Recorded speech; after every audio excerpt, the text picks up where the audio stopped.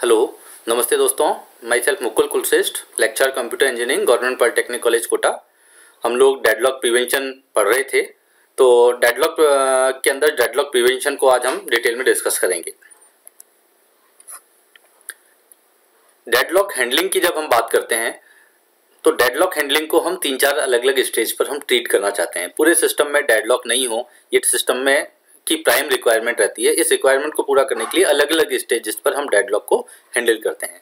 तो हैंडल करने की हमारे पास में कि डेडलॉक को सिस्टम के अंदर चार स्टेज हो सकती है। पहली स्टेज बोलते हैं हम डेडलॉक प्रिवेंशन मतलब हम ऐसी व्यवस्था करें ताकि डेडलॉक होने की स्थिति बने ही नहीं, किसी भी तरीके से डेडलॉक स्थिति होने की होने की स्थिति नहीं बने, जिसे हम बोलते हैं डेडलॉक प्रिवेंशन यदि किसी वजह से डेडलॉक होने की स्थिति बन जाती है तो फिर हमारा नेक्स्ट उसको हैंडल करने का क्या तरीका होता है? डेडलॉक अवॉइडेंस कि हम डेडलॉक को अवॉइड करें। किसी भी तरीके से डेडलॉक को होने नहीं दें प्रोसेसेस को हम एग्जीक्यूट कराते रहें। ठीक है? बाई दी यदि हमारे पास में ये स्थिति भी हम अवॉइड भी नहीं कर पाते तो तीसरी स्टेप क्या होती है हमारे को उसको हैंडल करने की? डेडलॉक डिटेक्शन कि हम उस डेडलॉक को जैसे ही होने की स्थिति आए तो तुरंत हम डेड उसको डिटेक्ट कर लें, ताकि उसके बाद में, उससे जुड़े हुए जो दूसरे प्रोसेसेस हैं, उसके बाद में, वो भी डेडलॉक की स्थिति में नहीं आए। तो जिस प्रोसेस में भी डेडलॉक की स्थिति बन रही है उसको सबसे पहले डिटेक्ट करें और डिटेक्ट करने के बाद में हम तुरंत उससे वहाँ पर रिकवरी करना शुरू कर दें ताकि डेडलॉक जो सिस्टम में हो, हो गया है वहाँ से रिकवर हो और बाकी पूरा प्रोसेस इफ़ेक्ट नहीं करे। और जो चौथी स्थिति है वो हैंडल करने के डेडलॉक इग्नोरेंस कि हम सब इन सब चीज़ों को हैंडल नहीं कर सकते तो सिंपली उसको इग्नोर करें और प्रोसेस को हम पूरा करें और प्रोसेस को चलाएँ। ठीक है? तो इस तरीके से डेडलॉक हैंडलिंग को हम चार स्टेज पर डील कर सकते हैं। तो सबसे पहली स्टेज हम अभी डिस्कस करेंगे deadlock prevention this strategy involve designing a system that violates one of the four necessary condition required for the occurrence of the deadlock हमने जैसा शुरू में पढ़ा डेडलॉक की डेफिनेशन में और डेडलॉक होने के जो मुख्य रीजन थे उसको हमने पढ़ा तो हमारे पास क्या, चार कारण हमारे पास में निकल के आए थे। कौन सा? पहला म्यूचुअल एक्सक्लूजन दूसरा होल्ड एंड वेट तीसरा नो प्रिमिशन और चौथा सर्कुलर वेट ठीक है? तो ये चार नेसेसरी कंडीशन है, चारों नेसेसरी कंडीशन एक साथ होकर हो जाएँगी, उसी केस में सिस्टम के अंदर डेडलॉक होगा। तो हम क्या करें? हम इस तरीके से सिस्टम को डिज़ाइन करें कि ये इन चार कंडीशन में से किसी एक कंडीशन को वायलेट कर दे। वायलेट करने का मतलब कहता है कि उस कंडीशन को होने ही नहीं दे। तो इसका मतलब एट ए टाइम तीन ही कंडीशन होंगी और तीन कंडीशन से डेडलॉक सिस्टम के अंदर होकर नहीं होगा। This ensure that the system remains free from the deadlock जब ऐसी स्थिति होगी तो क्या होगा? सिस्टम जो है वो डेडलॉक से फ्री रहेगा from deadlock prevention the various condition of deadlock for deadlock prevention various condition for deadlock occurrence में बी वायलेटेड तो डेडलॉक को रोकने के लिए प्रिवेंट करने के लिए डेडलॉक को, जो डेडलॉक के होने के लिए जो वेरियस चार कंडीशन है, यदि हम उसको कहते हैं वायलेट कर देते हैं, हम यदि उसको नहीं होने देते हैं तो उस स्थिति में सिस्टम में डेडलॉक कभी भी ऑकर नहीं होगा। तो सबसे पहली कंडीशन कौन सी है? म्यूचुअल एक्सक्लूजन जैसा हमने म्यूचुअल एक्सक्लूजन को पहले डिटेल में पढ़ा था to violate this condition all the system resources must be such that they can be use in a shareable manner हमने म्यूचुअल एक्सक्लूजन के बारे में किसमें पढ़ा था?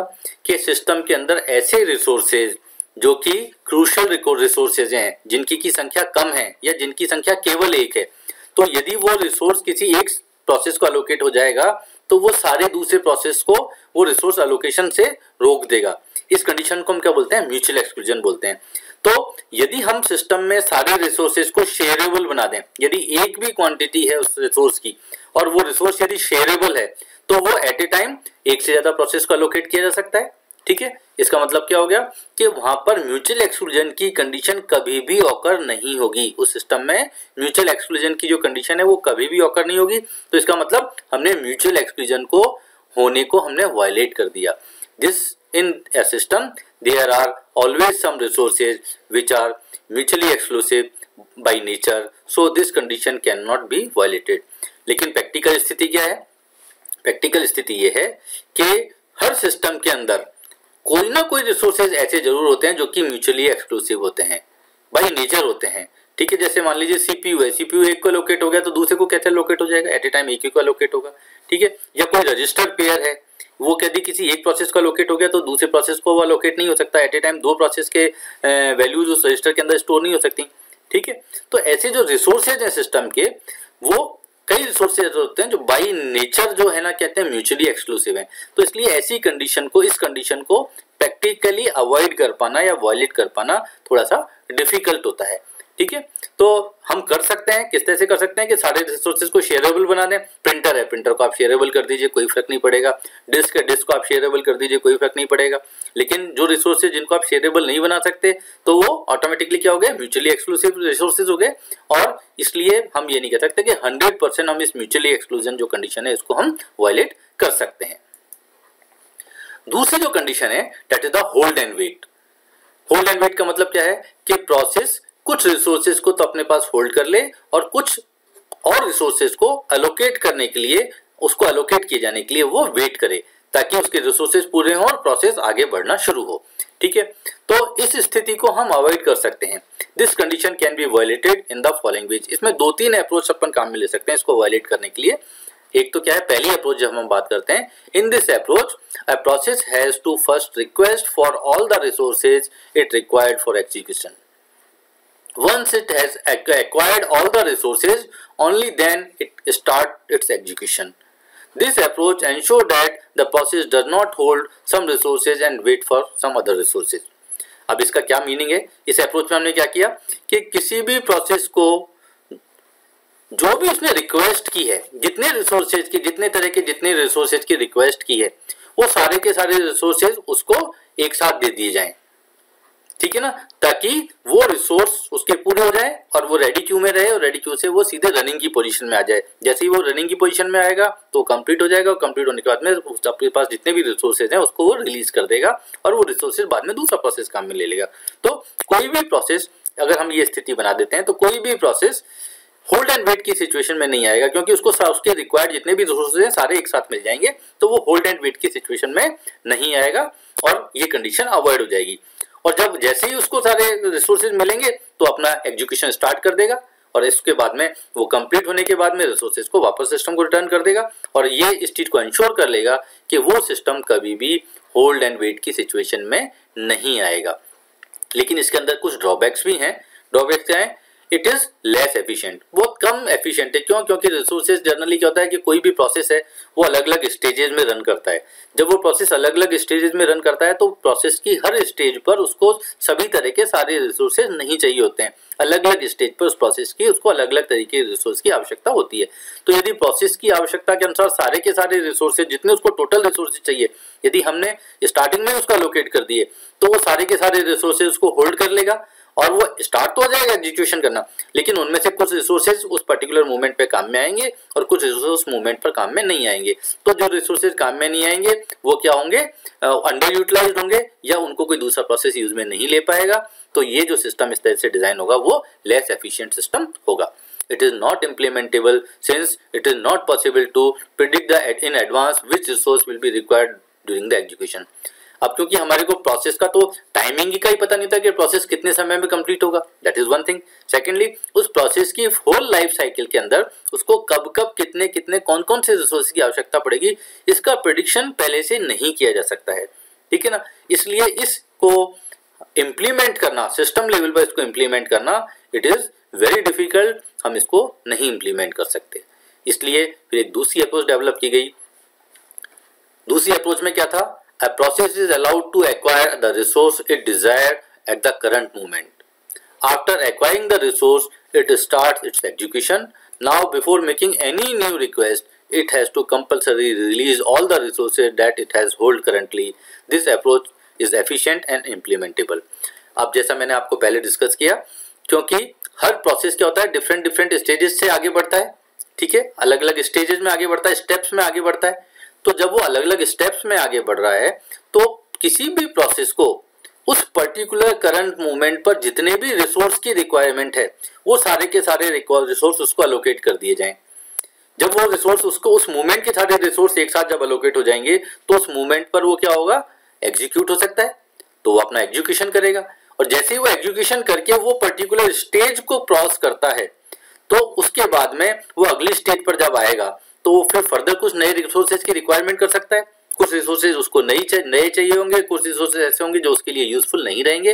तो ऐसी स्थिति में अगले स्टेज पर जाने के लिए जब वो नए रिसोर्सेज की रिक्वेस्ट करे तो उस रिक्वेस्ट करने से पहले हमने कंडीशन के डाल दी कि उसने प्रीवियस स्टेज में जितने भी रिसोर्सेज पहले उसको जो अलोकेट किए गए थे, जो उसने होल्ड कर लिए थे, उन सारे रिसोर्सेज को पहले वो रिलीज़ कर दे, ताकि वो सिस्टम को वापस रिटर्न हो जाए।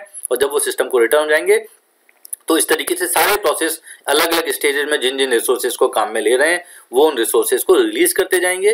तो उसके द्वारा जो रिलीज़ किए गए जो रिसोर्सेज हैं, वो दूसरे प्रोसेसेस को उनकी अगली स्टेजेस में एग्जीक्यूट करने के लिए यूज़ में आ जाएँगे अलोकेट हो जाएँगे। और जब ही जाके उनको अगली स्टेज का रिसोर्स एलोकेट होगा, जबकि उन्होंने प्रीवियस स्टेज के सारे रिसोर्सेज को रिलीज़ कर दिया है।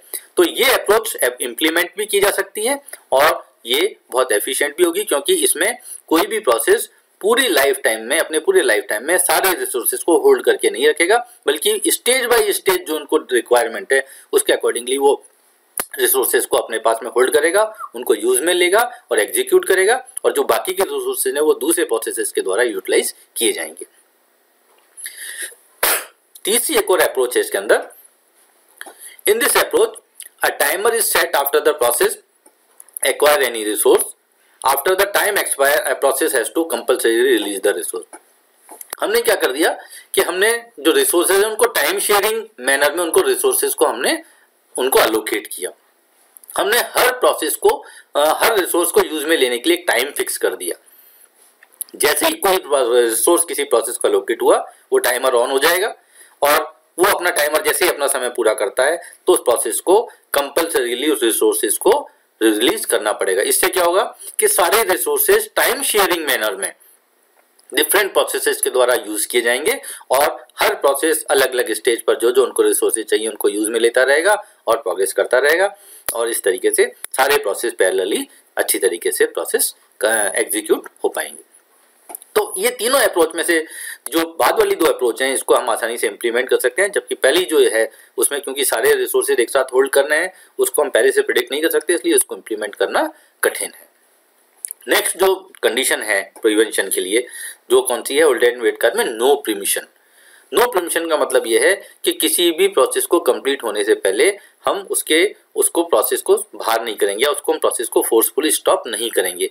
ये कहलाती कंडीशन नो प्रिमिशन ठीक है? This condition can be violated by forceful preemption मतलब हम क्या करें कि किसी भी प्रोसेस को फोर्सफुली रोक दें। फोर्सफुली हम बाहर निकाल दें उसको। हम फोर्सफुली उसका एग्जीक्यूशन रोक दें। तो this condition will called as the violation of the no preemption condition consider process is holding some resources and request other resources that can not be immediately allocated then by forcefully preempting the currently held resources the condition can be violated. The process is allowed to forcefully preempt the resource uh, paused by some other process only if it is higher priority process or system process or victim process is in waiting state. तो ये पूरा क्या है basically आपने क्या किया consider consider process is holding some resources एक process को आप कंसीडर कीजिए जिसने कुछ रिसोर्सेज होल्ड कर रखे हैं और वो दूसरे अदर रिसोर्सेज को एलोकेट करने के लिए वो रिक्वेस्ट कर रहा है। तो request other resources that can not be immediately allocated उनके लिए रिक्वेस्ट कर रहा है जो कि उसको इमीडिएटली एलोकेटेड नहीं किए जा सकते। तो क्या करना है ऐसी स्थिति में कि ऐसे प्रोसेस को, जिसने कि कुछ प्रोसेस रिसोर्स को अलोकेटेड अलोकेटेड है और दूसरे के लिए जो रिक्वेस्ट कर रहा है, जो कि इसको अलोकेट नहीं किए जा सकते तो उसको क्या है, हम फोर्सफुली इस प्रोसेस को रोक दें और हम क्या करें फोर्सफुली रोक कर उस प्रोसेस को, उसके जो प्रेजेंटली उसने जितने भी रिसोर्सेज होल्ड कर रखे हैं करंटली हेल्थ जो रिसोर्सेज हैं, जिसने होल्ड कर रखे हैं उनको हम क्या करें? रिलीज़ करा दें हमको उसको रिलीज़ करा दें और नो परमिशन की कंडीशन को हम यहाँ पर वायलेट कर दें। ठीक है? अब कौन सा प्रोसेस इसके लिए किया जाएगा? तो अब फोर्सफुली हम उस प्रोसेस को रोकेंगे, जिसके लिए it is having a higher priority और ए सिस्टम प्रोसेस जो कि हायर प्रायोरिटी का प्रोसेस है, या वो सिस्टम प्रोसेस है, ठीक है? या वो एक विक्टम प्रोसेस है और वो वेटिंग स्टेट में मतलब वो ऐसा प्रोसेस है विक्टिम का मतलब वो प्रोसेस है जिसकी वजह से सिचुएशन बन रही है डेडलॉक होने की। तो हम उसको प्रिंट करेंगे, उस प्रोसेस को हम प्रिंट करेंगे और हम उसको सिस्टम से बाहर निकाल देंगे उसके रिसोर्सेज को हम फ्री कर देंगे। ठीक है? तो ये हमारे पास में तीसरी कंडीशन हो गई जिसको कि हम अवॉइड कर दें और हम अपने आप को वायलेट कर दें और हम सिस्टम को डेडलॉक होने से प्रिवेंट कर लें। जो चौथी कंडीशन है हमारे पास में डेडलॉक ऑक्रेंस की that is the circular wait This condition can be violated by not allowing the process to wait of resources in a cyclic manner. कि हम सिस्टम में साइक्लिक मैनर में जो उसका सर्कुलर वेट जो है, जो साइक्लिक मैनर में प्रोसेस का जो वेटिंग ग्राफ बन रहा है, हम उस ग्राफ को ना बनने दें, हम साइक्लिक मैनर में वेटिंग नहीं होने दें रिसोर्सेज की तो हम इस कंडीशन को वायलेट कर सकते हैं। To violate this condition following approach is allowed ये जो अप्रोच है, हम लगाते हैं क्या? Natural number is assign to every resource her resource को एक नेचुरल नंबर असाइन कर दिया जाएगा। Each process is allowed to request for the resource either in the only increasing or in decreasing order of the resource number क्या हुआ? जैसे मान लीजिए, एक सिस्टम के पास में अलग अलग तरह के रिसोर्सेज हैं। तो हर तरह के रिसोर्स को हमने एक नंबर लगा दिया। ये resource number one resource number two resource number three resource number four resource number five ऐसे करके एन नंबर ऑफ़ रिसोर्सेज को हमने एक से लेकर एन तक की हमने उनको नंबरिंग दे दी। ठीक है? और हमने रूल क्या बना दिया कि जब भी कोई प्रोसेस रिसोर्सेज की डिमांड करेगा तो हमेशा वो इंक्रीजिंग ऑर्डर में या डिक्रीजिंग ऑर्डर में करेंगे। ठीक है? इंक्रीजिंग ऑर्डर के मतलब कि कोई भी जो प्रोसेस है, वो पहले ये नहीं कह सकता कि साहब, पहले मुझे रिसोर्स नंबर नाइन दे दो, फिर मुझे रिसोर्स नंबर वन देना। नो उसको ऐसे चलना है प्रोसेस को कि पहले उसको रिसोर्स नंबर वन मिलेगा, उसकी रिक्वायरमेंट दो, फिर उसके बाद में उसको टू मिलेगा, फिर उसको थ्री मिलेगा, फिर फोर मिलेगा फिर पांचवा मिलेगा, फिर आठवां मिलेगा, फिर पच्चीसवां मिलेगा, ऐसे मिलेंगे। मतलब उसको जंप कर करके इंक्रीजिंग ऑर्डर में ही रिसोर्स मिलेंगे। हायर ऑर्डर का एकदम उसको मिल जाए, फिर कहोगे आप मेरे को पहला दे दो, फिर कह दोगे, आप मेरे को आठवां दे दो, फिर मेरे को कह दो तीसरा दे दो, ये कभी भी उनको अलाउ नहीं किया जाएगा। ठीक है? This approach is the most practical approach and implementable ये भी प्रैक्टिकल अप्रोच है और इसको इम्प्लीमेंट किया जाता है, किया जा सकता है। However the approach may cause starvation but will never lead to deadlock इसके वजह से क्या होता है स्टारवेशन की प्रॉब्लम हो सकती है। स्टारवेशन क्या है कि किसी प्रोसेस को बहुत लंबे समय तक जो उसका डिजायर्ड रिसोर्स है, वो नहीं मिल पाए। ऐसी स्थिति को हम क्या बोलते हैं? स्टारवेशन बोलते हैं। मान लीजिए कोई प्रोसेस आ गया, ठीक है?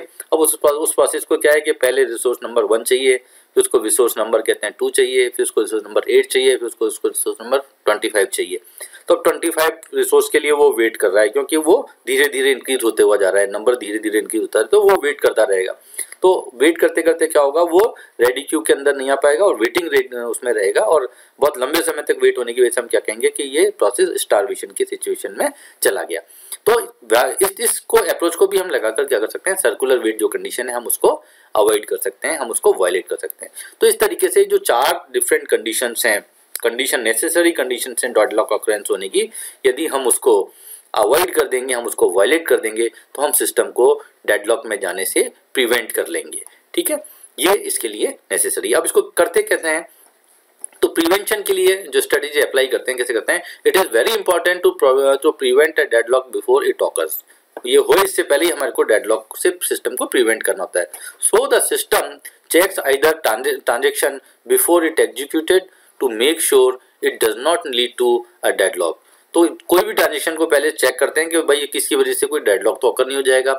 If there is seven even or a slight chance that transaction may lead to a deadlock in future, it is never allowed to execute. और यदि कोई ट्रांजेक्शन है, कोई इंस्ट्रक्शन है जिसकी वजह से कि फ्यूचर में डेडलॉक होने की संभावना बनती है तो उसको किसी भी स्थिति के अंदर अलाउ नहीं किया जाए कि वो सिस्टम में एग्जीक्यूट कर जाए। तो इसमें, इसको करने के लिए क्या करते हैं? The deadlock some deadlock scheme से उसमें क्या है? टाइम स्टैंपिंग की जाती है। In order to make sure that deadlock does not occur from the given उसमें। अब टाइम स्टैम्पिंग क्या है बेसिकली सिस्टम क्लॉक होती है। हर कंप्यूटर के अंदर एक सिस्टम क्लॉक होती है। तो जब भी कोई प्रोसेस आता है सिस्टम के अंदर स्टार्ट होता है तो हर स्टेज पर उस सिस्टम में उसमें टाइमिंग की स्टैंपिंग लगी जाती लगाई जाती है। ठीक है? तो जिसकी टाइम स्टैम्पिंग पहले होगी मतलब वो सिस्टम में पहले आ गया। जिसकी टाइमिंग स्टैम्प बाद में होगी वो सिस्टम के अंदर क्या होगा? बाद में आया। ठीक है तो हम ये कह सकते हैं कि कौन सा जो प्रोसेस है, वो तो सिस्टम का ओल्डर प्रोसेस है। जो ओल्डर प्रोसेस होगा, उसकी टाइम स्टैंपिंग क्या होगी? पहले की होगी, छोटी होगी उसकी टाइम स्टैंपिंग और जो बाद में आने वाला प्रोसेस होगा न्यूअर होगा, बिल्कुल अर्ली जो होगा, जो सिस्टम प्रोसेस होगा, उसकी टाइम स्टैंपिंग वो बाद की होगी मतलब उसकी टाइम स्टैंपिंग बड़ी होगी। मतलब टाइम छोटा तो वो ओल्डर प्रोसेस है। यदि टाइम बड़ा है तो वो बड़ा प्रोसेस या नया प्रोसेस है। इस तरीके से हम आइडेंटिफाई करेंगे। तो अब दो स्कीम्स यहाँ पर लगाई गई हैं। पहले वेट एंड डाई स्कीम पहली स्कीम जो कहलाती है, वो कहलाती है wait and die scheme in this wait and die scheme if transaction T one request for a resource that is held by transaction T T two one of the following two scenario में होकर मतलब दो transaction हैं transaction T one और transaction T two तो transaction जो T one है, वो तो क्या रिक्वेस्ट कर रहा है? किस लिए रिक्वेस्ट कर रहा है? उस रिसोर्स के लिए रिक्वेस्ट कर रहा है, जो कि ट्रांजेक्शन टू ने होल्ड कर रखी है। तो अब हम कैसे चेक करेंगे? हम यहाँ लेंगे टाइम स्टैंपिंग को यूज़ में लेंगे। If time stamping of T one is less than timing stamping of two मतलब क्या हो गया? कि छोटी कब होगी टाइम स्टैंपिंग जबकि ये ओल्डर प्रोसेस है, ये बड़ी कब होगी? जबकि इसका ये नया प्रोसेस है। तो if T one is older than T two इसका मतलब क्या है? T one came in the system earlier than the T two then it is allowed to wait for resource which is which will be free then T two has completed its execution तो जो पहले आया वाला जो process है, हम उसको क्या कहेंगे? उसको कहेंगे, आप वेट करो। आप वेट करते रहो। कब तक करते रहो? जब तक कि टी टू ट्रांजेक्शन को कंप्लीट नहीं कर ले और वो कहते हैं रिसोर्सेज को फ्री नहीं करते, जब तक आप वेट करते रहो। कहने का मतलब क्या हो गया कि बाद में शुरू होने वाले जो प्रोसेसेस हैं, उनको पहले कंप्लीट किया जाएगा। जब वो पहले कंप्लीट होंगे तो वो जो बाद में जो उन्होंने रिसोर्सेज हेल्ड किए हैं, उनको पहले रिलीज़ कर देंगे, ताकि वो रिसोर्सेज प्रीवियस वाले प्रोसेसेस को मिलेंगे और वो एग्जीक्यूट कर जाएँगे। ठीक है? दूसरा क्या है, स्थिति कर सकती है? Time stamping of T one is greater than T two कि यदि ओल्डर प्रोसेस है पहला जो प्रोसेस जो कि क्या कर रहा है रिक्वेस्ट कर रहा है, यदि वो नया प्रोसेस है, और जिसने होल्ड कर, जो यूज़ में ले रहा है, वो पुराना प्रोसेस है। If T one is younger than T two if T one is younger than T two it means T one came in the system after T two time stamping क्योंकि इसकी बात की है बड़ा है ये तो बात की है। तो ये बाद में आया है सिस्टम के अंदर then T one is killed then T one is killed it is restarted later with the same time stamping तो हम क्या करेंगे? टी वन जो प्रोसेस है, हम इसको किल कर देंगे। और हम क्या? बाद में दोबारा से इसको सेम टाइमिंग स्टैम्पिंग से हम शुरू कर देंगे। तो this is wait and die condition है। पहले तो आप वेट करा दो। यदि पहले वाला प्रोसेस जो है, वो ओल्डर प्रोसेस है डिमांड करने वाला रिक्वेस्ट करने वाला प्रोसेस ओल्डर प्रोसेस है, उसको वेट करने के लिए कहो। और नया जो आने वाला प्रोसेस है, वो पहले रिसोर्सेज को कंप्लीट करे, उस प्रोसेस को कंप्लीट करे रिसोर्सेज को फ्री करे और बाद में इसको मिल जाए। That is one thing second thing यदि जो रिक्वेस्ट करने वाला प्रोसेस है, वो नया प्रोसेस है और जिसने होल्ड कर रखा है, वो पुराना प्रोसेस है। तो रिक्वेस्ट करने वाले प्रोसेस को, आप क्या कहो, उसको प्रोसेस को किल कर दो और इसको प्रोसेस जो पुराना प्रोसेस उसको पहले कंप्लीट होने दो और जब ये रिसोर्स रिलीज़ करे, उसके बाद में आप नए प्रोसेस को उसको अलोकेट कर दो। This is wait and die scheme जिससे कि हम डेडलॉक को प्रिवेंट कर सकते हैं। एक दूसरी स्कीम और है, जिसमें बाउंड एंड वेट स्कीम से if In this bound and wait scheme, if transaction T1 request for a resource that is held by a transaction T2, one of the following two possibility may occur. T1 request कर रहा है और किसने hold कर रखा है transaction T2 ने उस उसको होल्ड कर रखा है held by the transaction T2 तो क्या पॉसिबिलिटी है पहली if time stamping of T1 is less than time stamping of T2 मतलब T1 प्रोसेस पुराना है ओल्ड प्रोसेस है और T2 प्रोसेस नया प्रोसेस है ठीक है then T1 came in the system earlier than T2, then it is allowed to roll back T2 or uh, wound T2. जो T2 प्रोसेस है जो बाद वाला प्रोसेस जो नया प्रोसेस है उसको वापस से रोल बैक किया जाए ताकि उसने अभी तक जितनी प्रोग्रेस कर ली है वो प्रोग्रेस वो वापस पीछे की तरफ़ ले जाए और अपने सारे जो रिसोर्सेज है उनको रिलीज़ करता चला जाए एक तो तरीका ये हो गया then T1 take the resources and complete its execution तो जो पहले जो ओल्डर प्रोसेस है, उसको वो रिसोर्स मिल जाएँगे और वो कंप्लीट हो जाएगा और एग्जीक्यूट हो जाएगा। T two is later restarted with the same time stamp और टी टू को बाद में शू करके और सेम टाइम स्टैम्पिंग से शुरू करके हम उसको कहते हैं कंप्लीट कर सकते हैं। कहने का मतलब क्या हो गया कि यदि ओल्डर प्रोसेस पहले बाउंड फिर वेट तो बाउंड कब करना है? बाउंड कब करना है कि यदि जो रिक्वेस्टिंग प्रोसेस है, जो रिक्वेस्टिंग प्रोसेस टी वन है, यदि ये पुराना प्रोसेस है और जिस, जिसको जो ट्रांजेक्शन जिसने हेल्ड कर रखे हैं, वो नया प्रोसेस है। ठीक है? न्यू प्रोसेस है। तो जो पुराना प्रोसेस है, वो तो कंटिन्यू करे और जो नया प्रोसेस है वो वापस से रोल बैक कर जाए, अपने सारे जो रिसोर्सेज उनको रिलीज़ कर दे और रिलीज़ होने के बाद में वो कौन यूज़ में ले लेगा? प्रोसेस टी वन यूज़ में ले लेगा रिक्वेस्ट करने वाला प्रोसेस यूज़ में ले लेगा और वो कंप्लीट हो जाएगा और जब वो प्रोसेस टी वन कंप्लीट हो जाएगा ओल्डर प्रोसेस जब कंप्लीट हो जाएगा, उसके बाद में वो रिसोर्सेज फ्री हो जाएँगे तो टी टू को सेम टाइम स्टेमिंग शुरू करके उसको हम कंप्लीट करा दें। दूसरी एक और इसमें सीनेरियो है if time stamping of T one is greater than T two मतलब T1 तो यंगर है और T2 ओल्डर प्रोसेस है. Then T1 came in the system after T2 ठीक है? टी वन का क्योंकि ये आ, बड़ा है मतलब ये बाद में आया है ये पहले आ गया था सिस्टम के अंदर. Then it is allowed to wait for the resource which will be free when T two is completed तो क्या होगा? हम इसको वेट करने के लिए कहेंगे जब टी टू कंप्लीट हो जाएगा आ, और अपने इसको एग्जीक्यूशन कंप्लीट कर लेगा उसके बाद में हम इसको ये रिसोर्सेज अलोकेट करेंगे जब तक ये वेट करता रहेगा. यंगर प्रोसेस तो वेट करता रहेगा और कुल मिला के ये है कि जो ओल्डर प्रोसेस है, वो पहले अपना ट्रांजेक्शन कंप्लीट करे और उसके बाद में जो न्यू प्रोसेस है, वो ट्रांजेक्शन को अपना कंप्लीट करे। तो ये दो स्कीम्स हैं जिससे कि हम अप्लाई कर सकते हैं और डेडलॉक को हम प्रिवेंट कर सकते हैं सिस्टम लेवल के ऊपर जाकर। और ये जो दोनों स्कीम्स हैं, इससे हम क्या है कि जो चारों जो नेसेसरी कंडीशंस हैं, हम उसको वायलेट कर देंगे और उसकी वजह से हमारा सिस्टम कभी भी डेडलॉक में नहीं आएगा। Thank you